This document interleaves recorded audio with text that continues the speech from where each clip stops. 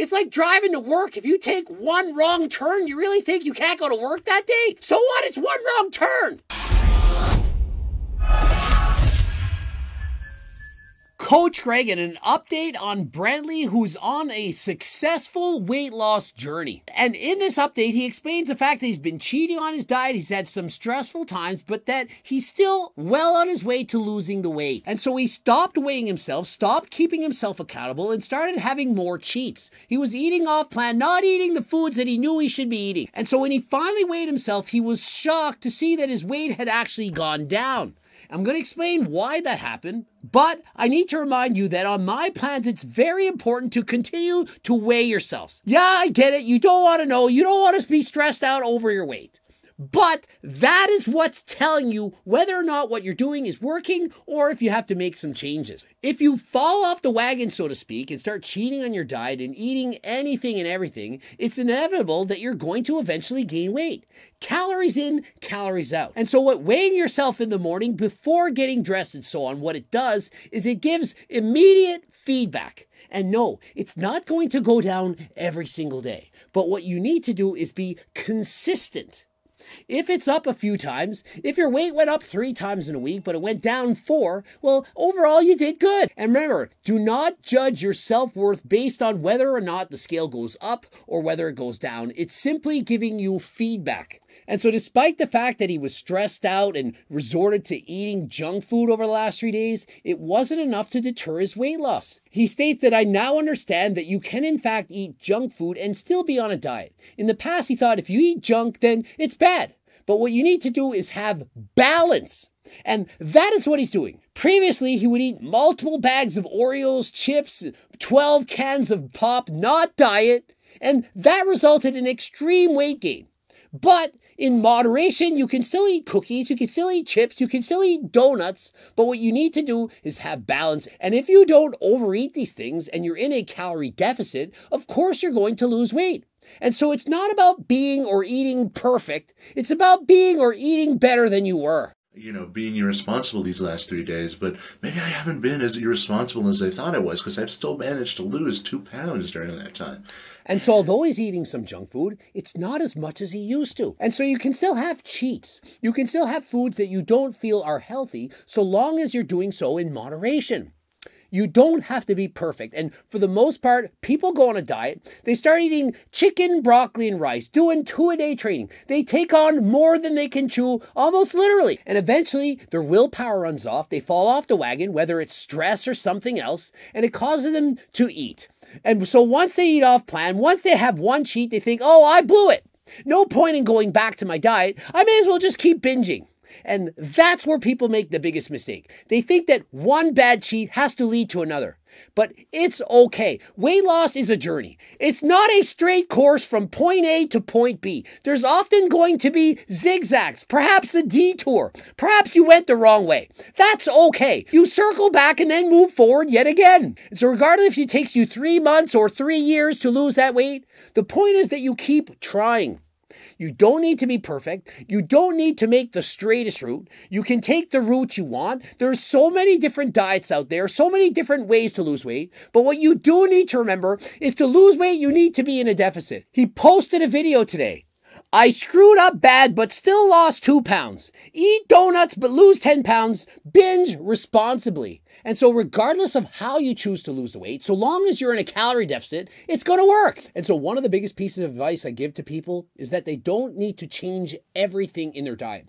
Make small changes that you can do for the rest of your life. If you like cookies and you eat 10 a day, don't expect to stop eating cookies altogether. But if you go from 10 cookies to 5, or perhaps replace those cookies with a healthier, lower calorie version, you can continue to eat those for the rest of your life.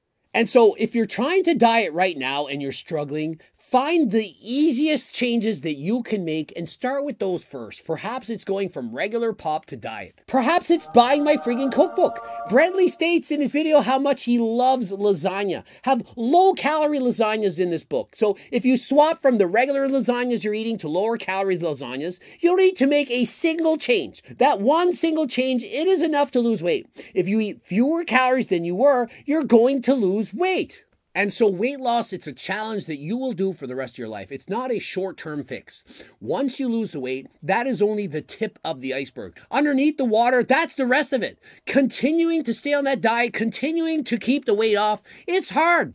But what you can do is make these small changes that you hardly even notice. But if you have to change your entire diet, it's not going to last. You won't be able to maintain it. Another thing I highly, strongly recommend GO2 Max, the main ingredient, NMN, that is going to help you to perform cardio at a higher pace. You become a better butter burner. You burn more calories in less length of time. And so the main ingredient, NMN, has recently been banned by the FDA. They can only sell it on Amazon up till March 13th please click the link in description. Code Greg 10% off. It's quite literally the number one supplement that I recommend of all the supplements that I'm taking. I have been, in a way, stressed. Extremely stressed. And so, despite that he was under stress, despite the fact that he resorted to junk food, what he did was ate less of it. He ate it in moderation. And he continued to do his workouts. He continued to go to the gym. He still did his cardio.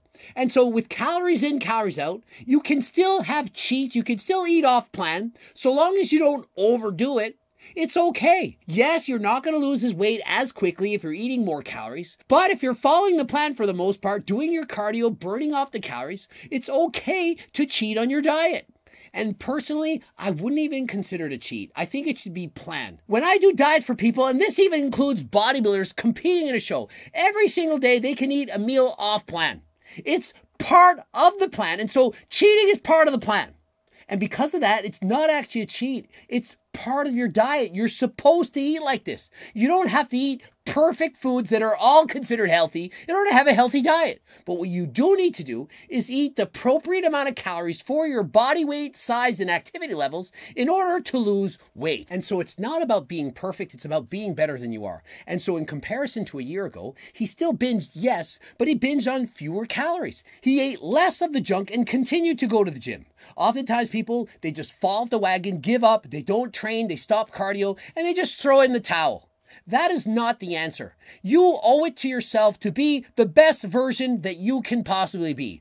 And that version, it's not going to be perfect. There's going to be slip ups, but so long as you continue, so long as you try, you are going to be successful. And so Brently knows eating like that was irresponsible, but he loves those foods. And so because he loves those foods, he shouldn't give them up. You can still eat these foods. There's not one single food that you should never be allowed to eat ever again. No matter who you are, no matter how much weight you've gained, there's nothing you have to completely give up. You can always exercise moderation.